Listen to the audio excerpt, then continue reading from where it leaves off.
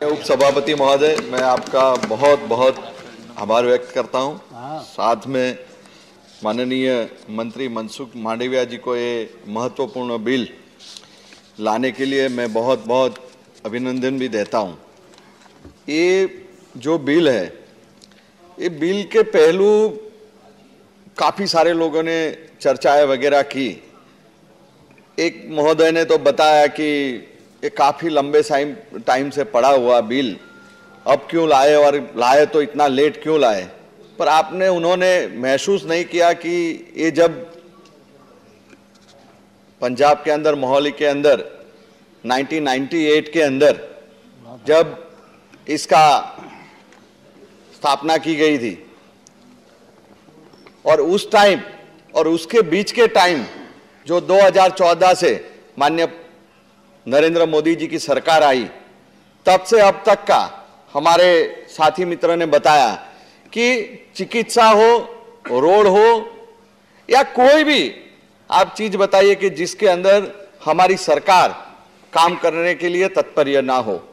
और जिस तरह देश के अंदर अभी जो वैश्विक महामारी जो आई है, जो कोरोना की महामारी जो चल रही है, वो अगर भूतकाल के अंदर लास्ट में पिछले सालों के अंदर सोचे, समझे कि उस टाइम के अंदर अगर ये बीमारी आई हुई थी तो हमें शायद ही, मैं, हमारे यहाँ पे स्वास्थ्य मंत्री माननीय मनसुख मांडविया जी बैठे मुझे आज भी याद है कि जब वो, जब मंत्री बने और मैं शुभकामना देने के लिए जा रहा था तो जब उनसे मिलने गया, तब उन्होंने मुझे एक बात बताई मतलब बात हो रही थी कि हमारे तब तब करीब 40-45 लाख लोगों को वैक्सीन लगा होगा।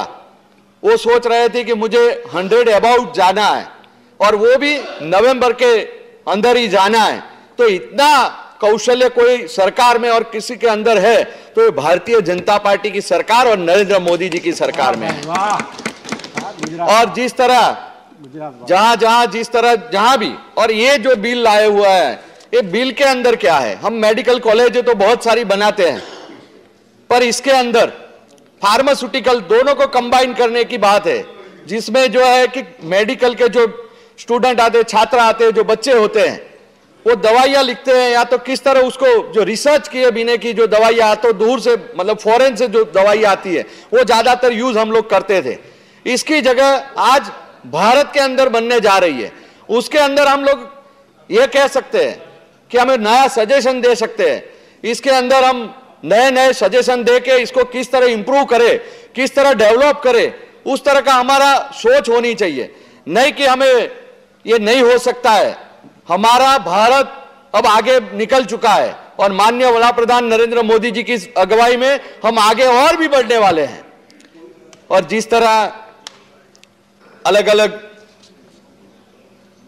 नए तमिलनाडु, छत्तीसगढ़, महाराष्ट्र, राजस्थान और कर्नाटक राज्यों के अंदर भी नए नए इंस्टीट्यूट बनने वाले हैं और उसके अंदर भी नए रिसर्च भी होंगे और हमारे जो बच्चे हैं, जो नए नए रिसर्च करके नई नई दवाइयाँ और खुद भी फार्मास्यूटिकल की, जिस तरह विश्व के अंदर जो मांग है, हम लोग आयुर्वेदिक में तो आगे थे, पर आने वाले वक्त के अंदर ये हम आगे होने वाले हैं और जिस तरह जन औषधि केंद्र की बात की तो उसके अंदर भी आप देखिए कि जो लोग लाखों रुपया खर्चा करते थे, आज वही दवाइयाँ सौ, दो सौ, पाँच सौ, हज़ार रुपए के अंदर मिलती है। और जिस तरह लोग डरा के रखते थे कि ये बड़ी फैक्ट्री की या तो विदेश की दवाई आप यूज़ कीजिए, इसकी जगह आज लोकल लोकल टू वोकल की जो माननीय प्रधानमंत्री जी की जो सोच है, उसको आगे बढ़ा रहे हैं।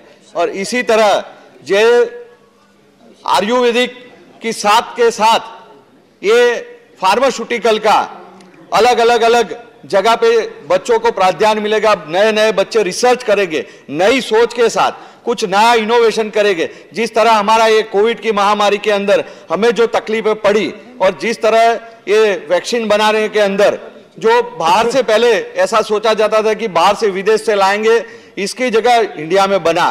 इसी तरह फार्मास्यूटिकल के अंदर हम आने वाले वक्त के अंदर यही कोई महामारी आ जाती है।